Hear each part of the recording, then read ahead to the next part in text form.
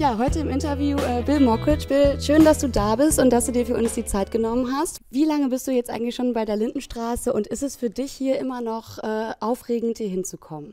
Also ich bin seit, ich glaube, 22 Jahren bei der Lindenstraße und es ist immer aufregend, weil du freust dich auf die Szene und du willst die Szene so gut machen wie möglich. Ich freue mich immer auf die Marie-Louise, weil wir wirklich ein sehr gutes Paar zusammen sind, arbeiten gerne zusammen und wir lachen auch viel gern zusammen.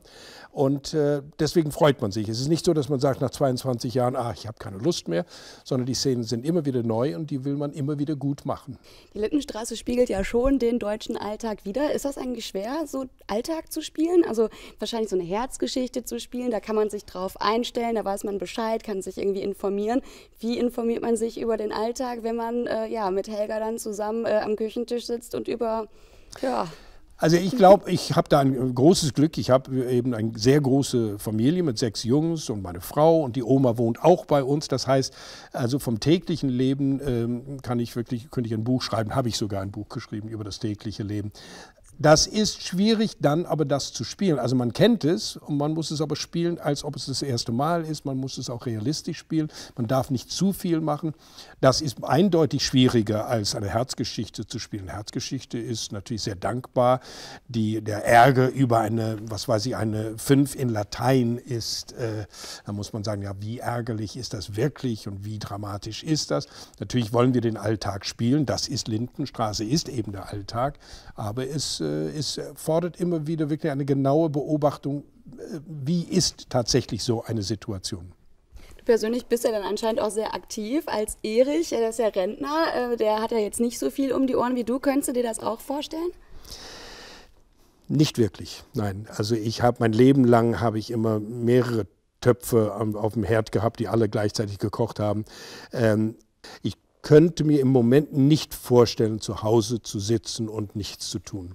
Auch Ehrenamt ist für mich ganz wichtig. Ich bin seit 18 Jahren Schirmherr von Sterntaler, war ein Kinder- und Jugendhilfswerk in Bonn und das ist für mich ganz wichtig und füllt mich auch aus. Also äh, nein, zu wenig dürfte es nicht sein.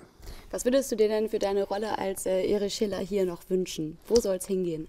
Ja, ein bisschen, dass der Erich, äh, das würde mir gut gefallen, so ein, ein Sprachrohr für die Rentner, dass der Erich ein bisschen von dem profitieren könnte, was ich privat sage und dass der anfangen könnte, so ein bisschen sein Leben zu ähm, bewusster zu gestalten und auch das Leben von den Mitbewohnern in, in der Lindenstraße, dass er sagt, komm, wir müssen aktiv sein, wir müssen Sachen anpacken, wir müssen fit bleiben, wir müssen auch im Kopf fit bleiben. Also das würde ich, äh, könnte ich mir gut durch vorstellen, dass der Erich da sowas machen könnte.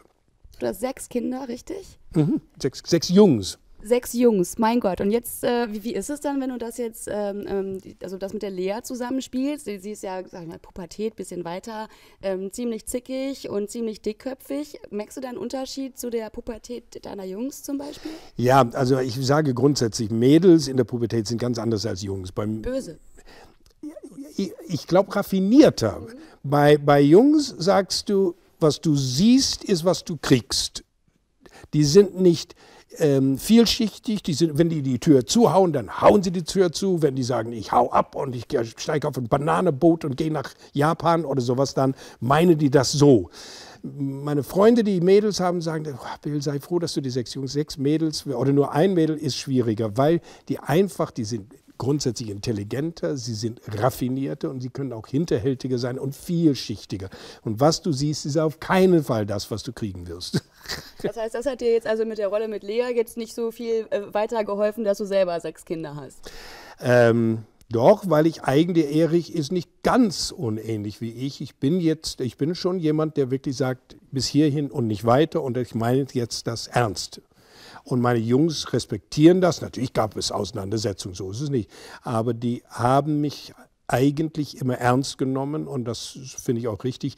Die Lea tut das nicht, sie nimmt uns nicht ernst und sagt äh, zu der Helga so Sachen wie, ich wünschte, du wärst gestorben und nicht meine Mutter. Das sind natürlich Sachen, das geht überhaupt nicht. Ähm, ich glaube, es ist ein, ein anderer Erziehungsstil. Also ich hätte sie anders erzogen. Sie wäre wahrscheinlich, glaube ich, nicht ganz so zickig geworden, wenn ich sie erzogen hätte.